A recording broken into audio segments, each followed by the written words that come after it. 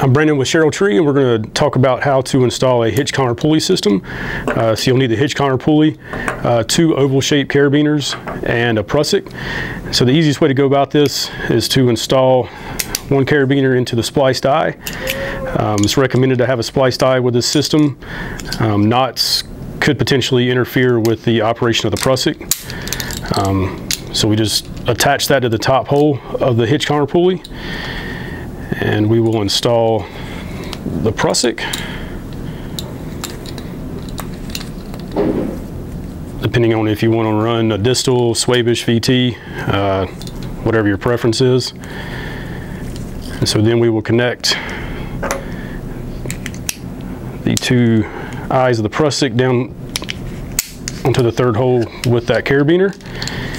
And there's the hitch pulley system. You can also move the front car the top carabiner to the front hole, uh, which will allow a little bit more of a gap uh, between the two sides of the climbing line.